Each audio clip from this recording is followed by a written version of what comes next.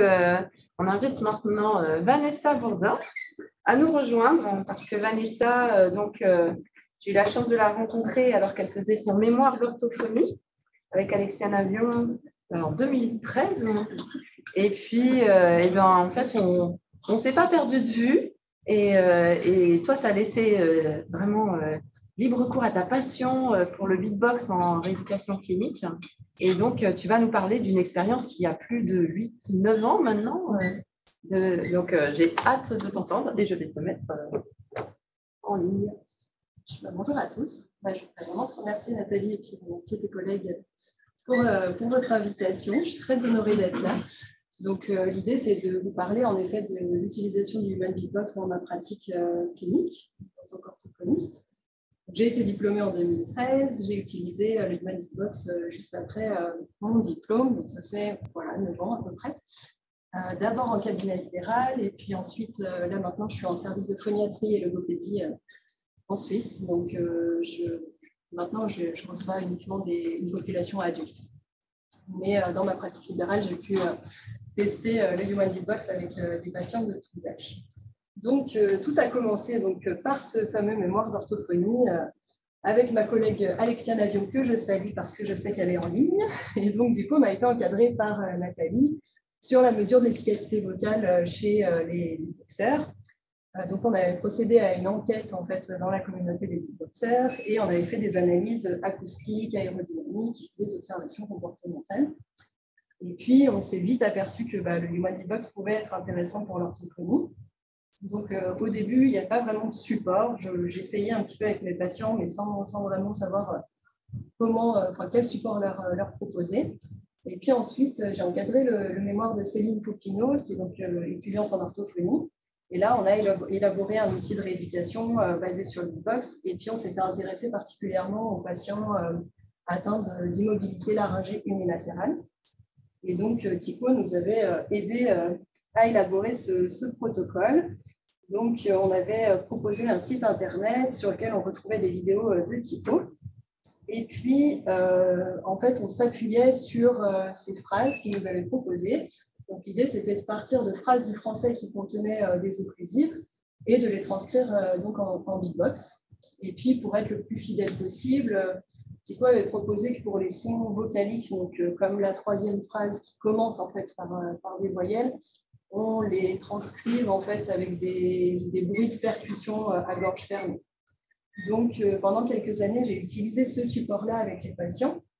Et puis, en fait, euh, bah, au fur et à mesure de, la pratique, je me suis rendu compte que finalement, il y avait des choses qui ne fonctionnaient pas très bien, notamment que c'était assez coûteux pour le patient au niveau cognitif de faire cette transcription et qu'il y avait beaucoup de patients qui s'attachaient en fait à être le plus fidèle possible à la phrase du français, alors que finalement, ce n'était pas le sujet de, la rééducation.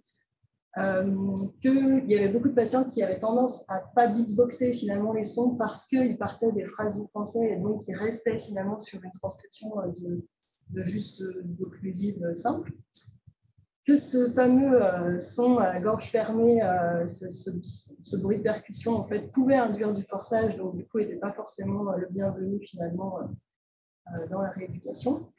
Et puis, mon idée, c'était aussi qu'on manquait finalement de variété et qu'un mode aléatoire où, en fait, finalement, on s'attacherait plus simplement à ces phrases-là, mais qu'on pourrait générer plein de phrases différentes, serait plus ludique. Donc, euh, j'ai réfléchi à comment euh, euh, créer en fait cet outil-là. Et puis, j'en suis venue à l'idée qu'une application mobile, en fait, était peut-être la plus, la plus adaptée. J'avais plusieurs contraintes en tête. La première, c'est que je voulais qu'on puisse transporter, donc en tant qu'orthophoniste, qu'on puisse aller à domicile ou, ou lit des patients dans le, dans le service, que les patients puissent aussi l'utiliser eux à domicile. Euh, que ce soit accessible financièrement, que ce soit gratuit pour tout le monde. Euh, qu'est-ce que je m'étais dit d'autre? Euh, J'étais restée aussi sur l'idée finalement avec l'expérience que les sons de base dont on vient de parler étaient finalement suffisants en fait, parce que dans, les transcriptions, il y avait aussi des, sons comme des, des, des, des, choses comme ça, qui finalement, en fait, je trouvais en pratique, n'apportaient pas forcément ouais, des choses supplémentaires. Donc, on pouvait rester sur les trois sons de base. Alors après, il y a le débat qu'on vient juste d'avoir, mais sur le, Du coup, nous, on a gardé vraiment celui-là. Euh, et donc, en fait, je me suis tournée vers un Fab Lab. Donc, euh, très rapidement, je voulais juste vous parler de ça parce que euh, pour ceux qui ne connaissent pas, un Fab Lab, c'est un, lieu, en fait, c'est la contraction des mots fabrique et laboratoire. C'est un lieu où on peut venir en fait avec un projet, souvent numérique, mais ça peut être aussi d'autres projets, et des bénévoles nous aident à concrétiser ce projet-là. Moi, j'avais aucune connaissance en informatique donc j'ai été formée en fait au code. J'ai fait une petite capture d'écran des choses que j'ai pu apprendre à faire. Et l'objectif, c'était, alors pour les Fab Labs, c'est qu'on soit un petit peu plus, euh, peu moins dépendant du numérique, en fait, qu'on sache un petit peu, qu'on ait plus conscience en fait euh, du numérique en général.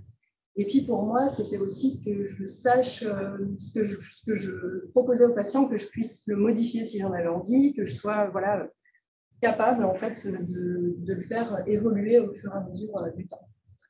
Donc, je vais vous présenter cette fameuse application. Est-ce que je mets, si je mets échappe, c'est bon?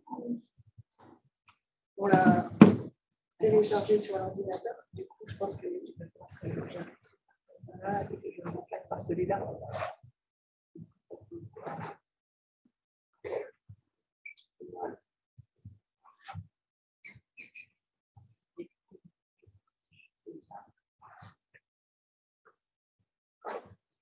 Donc là, ce qu'on ne voit pas, ah, du on ne voit pas tout.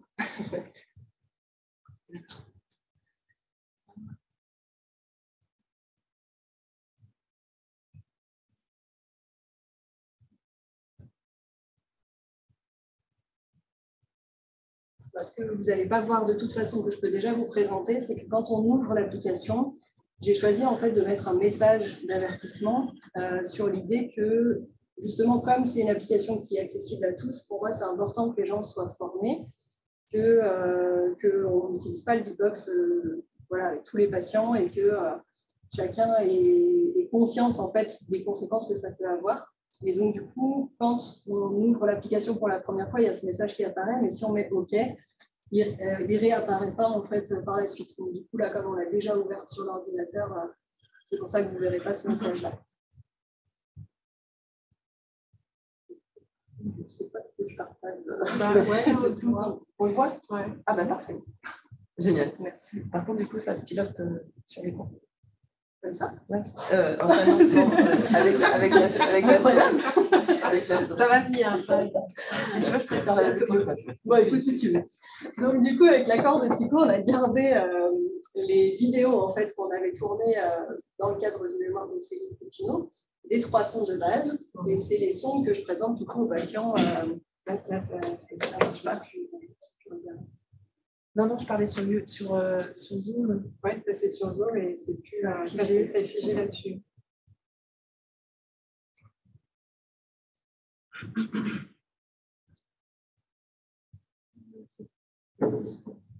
connexion. Non, parce que je vois, je, je vois bien ça. Et eh ben, euh, et quand je vois bouger, ouais, ça va, je vois pas bouger.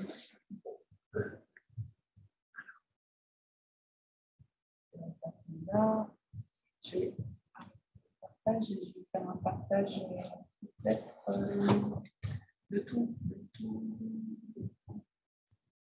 Attends, deux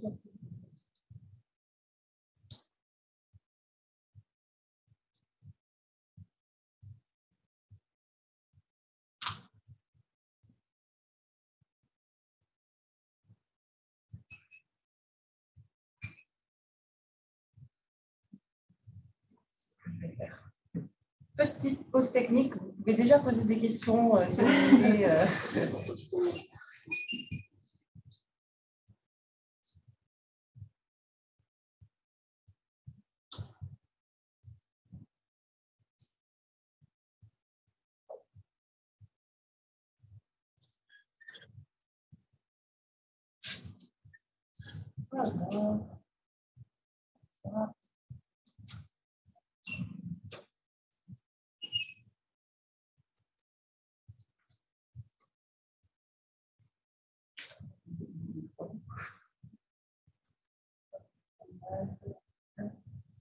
Alors,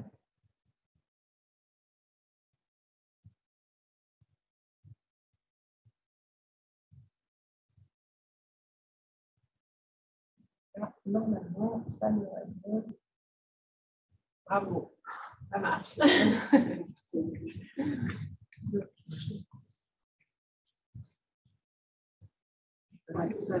Du coup, l'idée, c'est donc de présenter les sons de base aux patients, donc euh, les trois sons, euh, moi, je ne vais pas forcément vous les faire réécouter, vous les connaissez. Il y a une partie, pardon, je ne vous ai pas présenté la première vidéo qui est une, une partie de beatbox libre pour euh, présenter déjà le beatbox aux patients, parce que la plupart ne connaissent pas. Euh, et donc ensuite, il y a ces fameux trois sons de base. Il faut savoir qu'avec plusieurs patients, beaucoup de patients, en fait, on en restera là, dans l'idée que déjà de beatboxer ces trois sons-là, c'est déjà compliqué pour beaucoup de patients. Donc, donc voilà, je vous expliquerai après avec quel type de, de patients j'utilise et ce que j'ai pu observer, mais en tout cas, c'est ça qu'on peut retenir sur cette première page. Et puis ensuite, il y a un module en fait entraînement. Là, l'idée c'était donc de, générer en fait des, séquences euh, en mode aléatoire euh, qui reprennent ces trois sons, qui, reprennent ces trois sons là. Donc en fait, on peut l'écouter avec les patients.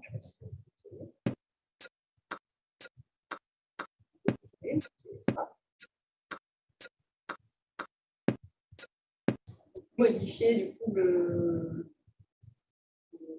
tempo, donc euh, faire écouter plus ou moins vite, sachant qu'avec la plupart des patients, on sont plutôt sur un tempo euh, très lent au début. Et puis, euh, et puis l'idée, en fait, c'est d'entraîner à, à, produire ces sons-là sur donc, 8, sur un pattern voilà, de, de 8 sons, et puis ensuite de, de générer systématiquement des nouvelles séquences pour les plus, euh, plus avancés euh, de les enchaîner. Voilà pour l'application.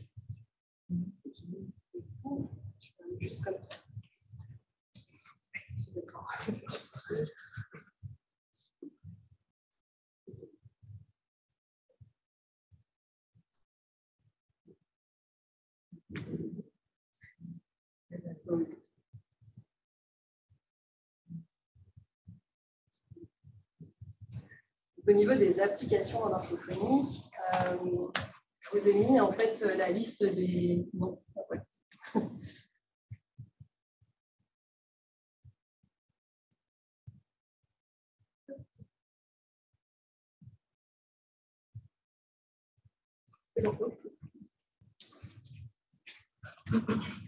J'ai donc mis la liste des, pathologies avec lesquelles j'ai utilisé l'Human ce n'est pas une liste euh, qui est exhaustive parce que je sais qu'on peut l'utiliser avec euh, des patients euh, atteints de surdité ou je sais aussi que c'est possible avec des patients qui sont atteints de laryngectomie, qui ont été opérés et qui ont des laryngectomies totales.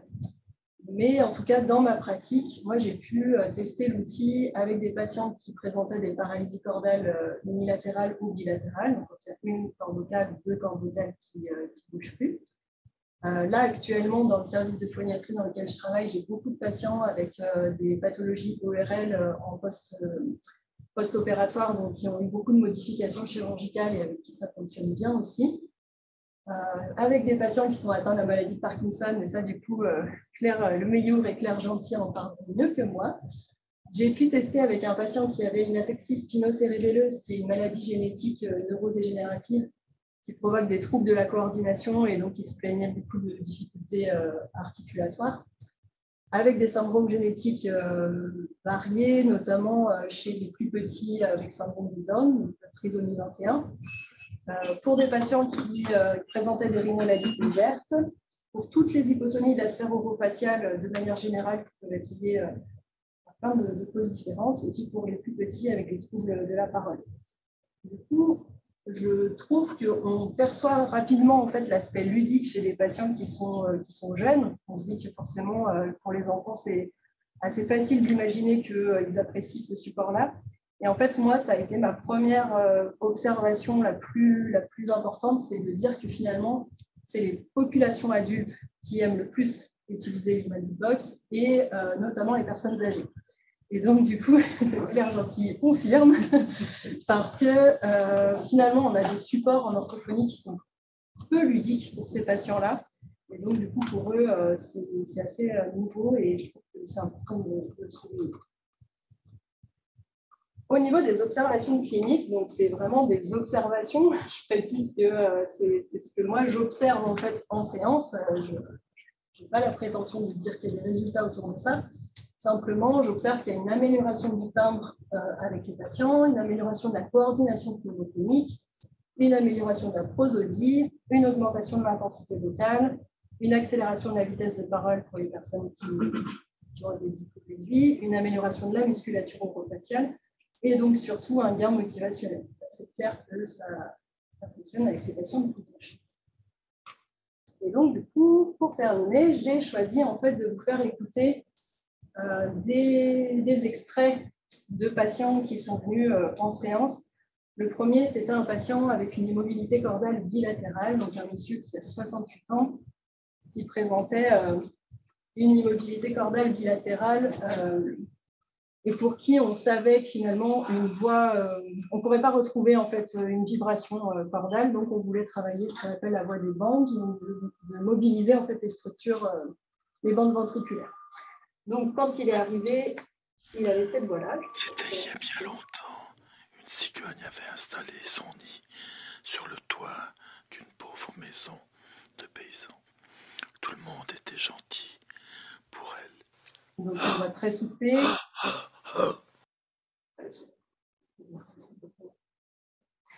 Une voix très soufflée qui n'est pas du tout efficace.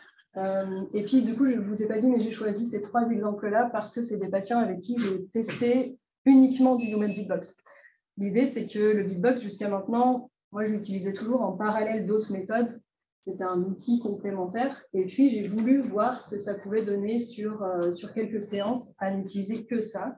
Et donc, pour ce patient-là, j'ai utilisé uniquement l'application que je vous présentais juste avant. Et au bout de cinq séances, on a réussi à produire cette voix-là.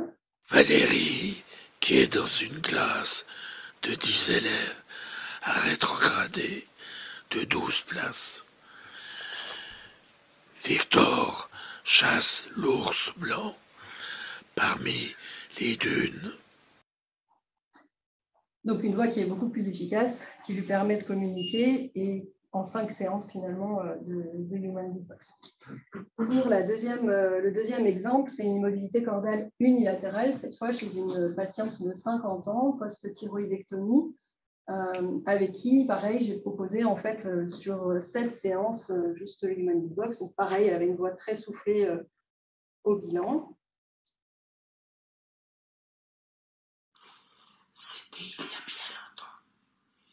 Une cigogne avait installé son nid sur le toit d'une pauvre maison de paysans.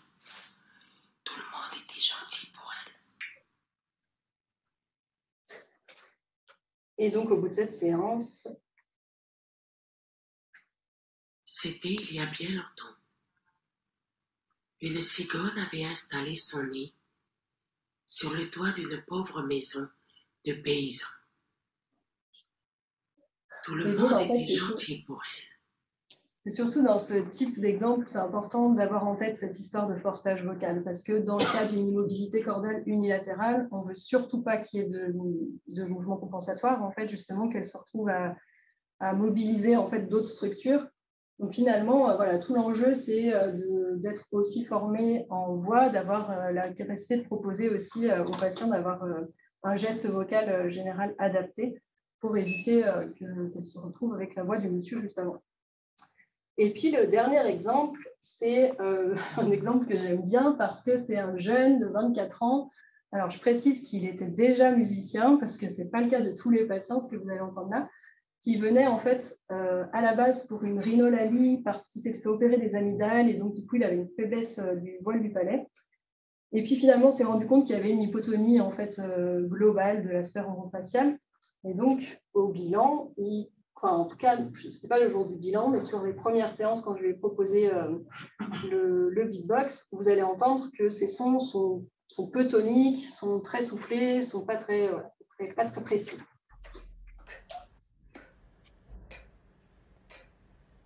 Alors, c'est très faible comme ça. On entend, mais très faiblement. En tout cas, voilà, ça donne des, des choses comme ça. Euh, et donc, en fait, je l'ai revu quelques semaines après. Et donc, voilà, je répète que c'était un musicien et qu'il a adoré en fait le beatbox, donc il l'a vraiment utilisé au quotidien. Et donc, il est revenu avec ce type de beatbox-là.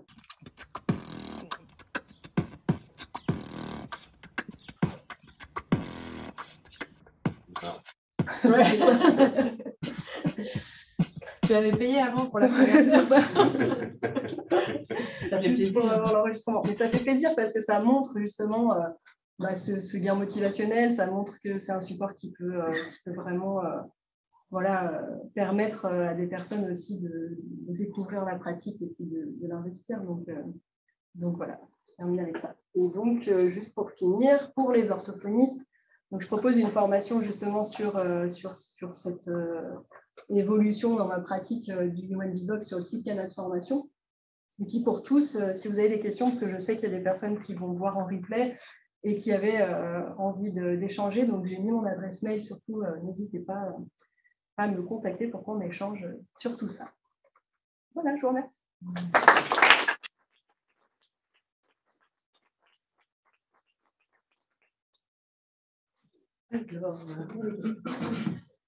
Il reste euh, un tout petit temps pour des questions. Il y en a plein en plus. Alors, allons-y. Euh, commençons par Polo. Alors, euh, les deux premiers patients là, qui ont été illustrés, le vieux monsieur, la vieille dame, Qu'est-ce que tu as utilisé comme, comme exercice et comme son avec ces gens-là? Uniquement le PTK La vieille dame de 68 ans. Ah, pardon. non, pardon. Ah, pardon. Euh, c'est la voix surtout, je pense, qui m'enreste. uniquement l'application le, l'application euh, que j'ai présentée. Uniquement. Rostel, Charlet, Esther, et il y a un gain sur l'utilisation de la voix, c'est quand même génial. Et euh, quand tu mets en garde sur le forçage vocal par rapport à des exercices sur le PTK, quels sont-ils selon toi? Parce que ça n'utilise pas la voix, donc on parle de forçage vocal potentiellement sur des articulations qui n'utilisent pas la voix? C'est ça, oui, en fait, c'est plutôt sur les structures finalement qui vont se mettre euh, D'accord, en, en jeu. Ouais. Ouais, ouais. C'est pas sur les vocales en elles-mêmes. Merci beaucoup.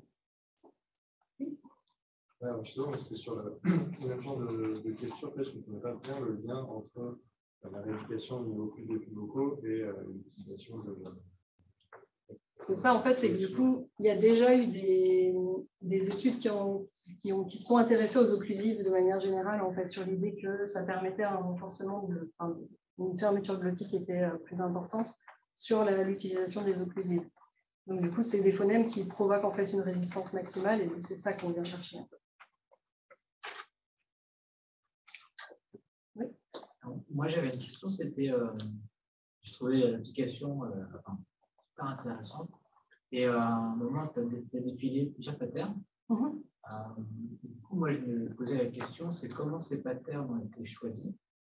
Et au-delà de ça, parce que je pense qu'il y en a qui sont plus difficiles que d'autres, et au-delà de ça, est-ce que dans ton utilisation quotidien avec tes patients, euh, tu sais déjà que tel pattern, tu vas l'utiliser plutôt pour euh, ce type de pathologie, ce patient à tel niveau. Est-ce que tu as déjà des stratégies comme ça Alors justement, ouais, par rapport à ce qui a, été présenté justement euh, dans, dans, ton étude, c'est que pour l'instant, moi j'ai une approche qui est super globale, qui n'est pas du tout spécifique justement, qui précise sur, voilà, on veut travailler exactement tel, tel juste la base de langue, ou, euh, etc. Donc en fait, finalement, non, je propose tous les patterns à tous les patients euh, sans, sans, sans, être euh, voilà, précis sur, sur juste les lèvres, juste la langue, etc. Comment ils ont été déterminés Et donc, oui, ils ont été déterminés de manière complètement aléatoire pour le coup, en, en, générant en fait des, des, en les mélangeant de manière aléatoire. Donc non, il n'y a pas de, de stratégie pour l'instant. même pas un boxeur ou un batteur derrière qui alors, il y a des petits cours. Si, je peux me permettre, après, sur des patterns comme ça, où on a un son par temps, et quand on est en vitesse lente, il n'y a aucune. Enfin, tu peux faire toutes les combinaisons que tu veux, il n'y en aura pas, c'est difficile. Entre T, T, K, T, T, K, T, T, c'est vraiment très simple. Pour toute personne qui débute, c'est très facile de voir ce c'est vrai que je trouve qu'on a du mal à, peut-être visualiser ce qui se passe en séance, mais on n'est pas sur, euh, on est très loin finalement du, beatbox tel qu'on l'a entendu là juste avant. C'est-à-dire qu'on va vraiment être sur des temps euh, très très lents. Euh, généralement, d'ailleurs, le métronome euh, qui a 60 battements par minute, il y a beaucoup de patients qui n'atteignent même pas cette vitesse-là. En fait. Vraiment, on est sur. L'idée, en fait, c'est d'être le plus explosif possible, d'essayer de trouver de la précision, de, de venir voilà, avoir cette tendance à beatboxer plutôt qu'à produire simplement le son. Mais faut imaginer vraiment euh, une situation euh, où en fait les personnes peuvent avoir aussi des difficultés cognitives, des, déficiences intellectuelles. voilà, on, euh, s'inspire du beatbox. Là, actuellement, moi, je m'inspire du human beatbox, mais sans, sans, sans avoir de tendance contre les patients qui beatbox eux-mêmes. L'intérêt, j'imagine, n'est pas vraiment un enseignement musical ou rythmique, et sur si peu de son pour compléter ce que vient de dire Tico, la seule difficulté va s'arrêter. En gros, il y aura six, enchaînements différents possibles. Et j'en oublie deux. Euh, un Kuti, Kuka, Tika, Tipu. Euh, voilà, merci Kati et Kapu. Voilà. Et en fait, une fois qu'on aura essayé un peu toutes ces configurations, on aura fait le tour de la difficulté des exercices a Parce que ce qui est le plus dur dans le beatbox au début, c'est de vivre, c'est de, faire subir à, l'articulation, aux, articulateurs, de, nouvelles configurations d'enchaînement. Excusez-moi, c'est un gars. voilà, mais c'est le, c'est la difficulté, ça arrivera à ça en fait. Euh, ouais, sur si peu de son, c'est ça l'intérêt quoi.